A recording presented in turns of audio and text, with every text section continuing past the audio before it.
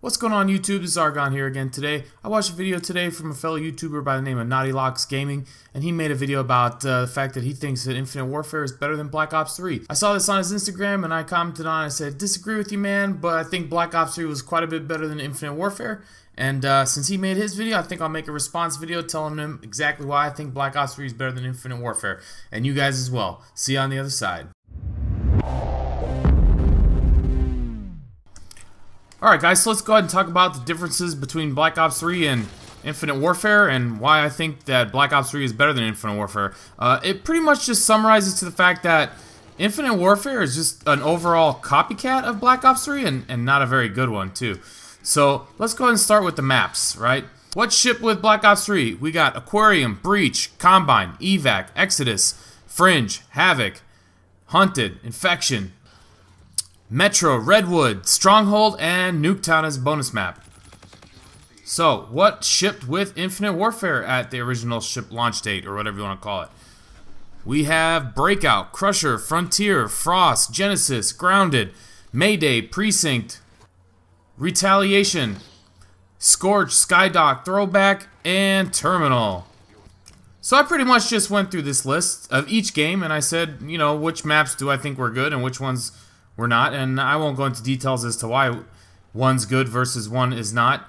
But it comes down to nine maps for uh, Black Ops 3 versus seven maps for Infinite Warfare. So Black Ops 3 had at launch two better, two, two more superior maps than Infinite Warfare had. So for that, in the maps category, uh, Black Ops 3 does edge out Infinite Warfare. So that's one category. I should have started this video by saying that I I wanted to go through. I'm dead. I'm dead. I wanted to go through and rank these two games on several categories, and those categories are as follows: maps, guns, kill streaks, specialists, game modes, and movement. I ran out of hands. Moving forward into the specialist category, I'm sorry, into guns and weapon balancing in general, I 100% give this to Black Ops 3. Uh, reason for that is they just had more balanced weapons. Um, way more balanced weapons. So you, you can use a lot of different guns in Black Ops 3 and be successful. So again, when this game launched, it was pretty much all NV4s and K-bars. And that's it. The snipers were good, but not much else. The LMGs, in my opinion, are way too overpowered. Uh, you should not be able to run and gun with an LMG like you can in this game. Um, so that is bad for weapon balancing, for sure.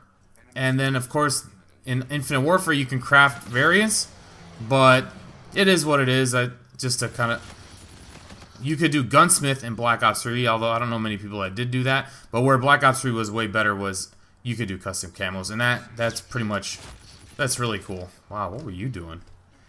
Uh, what are these guys doing? Anyway, Black Ops 3 wins in the gun category as well. Moving right along into the specialist category, uh, that definitely I'm going to give this one to... Come on, challenge me. Oh, wow. I'm definitely giving this one to Black Ops 3 because they started the specialist concept, and in my opinion, Infinity Ward just basically copied them, and that's just not cool. Like, if you look at, compare the specialists in this game to Black Ops 3, there's just way too much similarities. And if you're the second person to do that, then you're the copier. Uh, on top of that, the actual abilities and weapons and all that stuff in in this game is it's way more of a reactive situation than it is a tactical one. Uh, it's like how can I say this? It's kind of like somebody pops it like when they're scared and they need to get out of a situation, like rewind or phase shift or reactive uh, armor. Um, these are not used for offensive or tactical situations, which I think the Black Ops 3 ones were much better at. So, for that reason, definitely, definitely, definitely Black Ops 3 did this better. Um, in this game, they added mission teams, which, to be honest with you, I I don't find to be very useful. I guess they just added them so they'd have a way of giving extra salvage to people so they could craft more weapons. So I understand the reason they did it, but it just doesn't add anything to the game. The winner in this category for specialists is easily Black Ops 3. moving right along. Kill streaks. Uh, starting with Black Ops 3, you had the HCA, HCXD, the UAV, the care package, the counter UAV, the Dart, the Guardian, the Lightning Strike, the Hellstorm, the Hardened Sentry, the Cerberus, the Rolling Thunder, the Talon, the Wraith, the Hater, and I think the Mother... Oh, Power Core, RAPS, GI Unit, and Mothership. So you had a lot of options, and I'll compare that to Infinite Warfare, where you had um, you had a Scarab, which is a HC, HC car, whatever they call it, R, RC car. What are these? What the heck? You have a Scarab, same thing that they had in um, Black Ops 3. You have a UAV, obviously, a counter UAV and a care package, obviously, no big deal there. What the heck? You know, you have obviously a lot of the same stuff. You've got a sentry gun, just like you do in both games. You've got the Trinity and the... So you got a Vulture and you've got a Talon. Those are pretty much the same thing, except it's very strong in Infinite Warfare. And what sucks is that there's no counter for it, which is no good. Uh, there's no EMP grenades. I'm going off on a tangent here. So I can really only say that in Infinite Warfare, there's four kill streaks in this game that are better than Black Ops 3. That would be the uh, Advanced UAV. I don't know why. I just if I had to pick one, I, I, I could be even wrong about this. I believe that the Hater kind of scans, whereas the Advanced UAV is always on. I could be totally wrong about that, to be honest with you. Um, but also the Thor in this game is better. The Apex is cool. And the obviously the big one, the nuke. You've got a nuke in this game. You don't have that in Black Ops 3. That's pretty big. That alone might almost give it to Infinite Warfare. So I'm gonna give that to Infinite Warfare to be honest with you. Even though there's more, there's better kill streaks in Black Ops 3, like a higher number of them. The fact that Infinite Warfare has nukes, I think is, let's give it to them. The next category that I'm going to rate these games on is the game modes. And I give this one to Infinite Warfare as well because Infinite Warfare had a game like a game mode like Frontline. That's one they invented.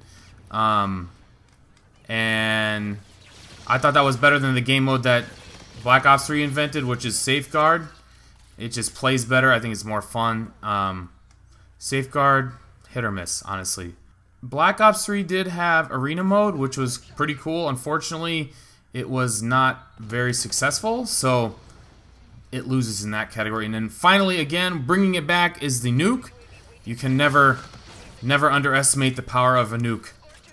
Um, but the fact that you have nukes in this game, really help a lot. And last but not least, or should I say last but least, let's talk about advanced movement. I definitely 100% uh, give this category to Black Ops 3. They nailed the movement perfectly. Out of all three of the new CODs with all the jumping and flying and all that BS, they nailed it.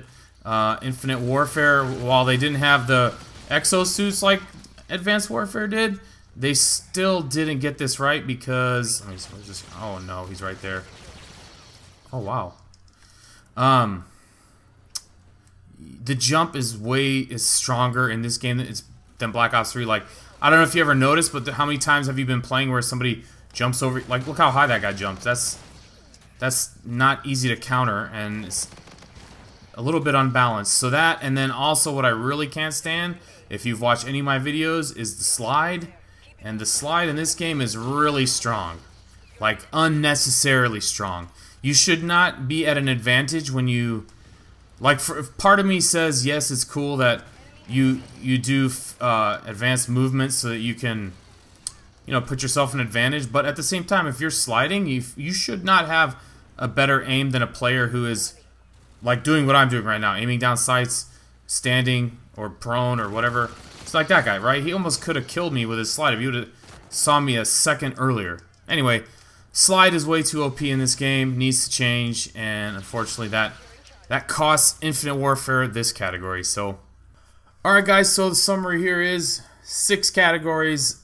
Black Ops 3 wins four of them. Maps, guns, specialists, and movement, whereas Infinity Ward, in my opinion, was a little bit better in kill streaks and in game modes. But if you weigh those out, the things that Black Ops 3 is better that better than Infinity Ward at are they're just more valuable. So all in all, Black Ops 3 is a way better game. I hope you guys agree. If you don't, let me know in the comments below. Anyways, guys, that's going to do it for this video. Hope you liked what you saw. If you did, hit that like button. If you haven't yet, hit that subscribe button. And have a great day. And until the next video, peace out.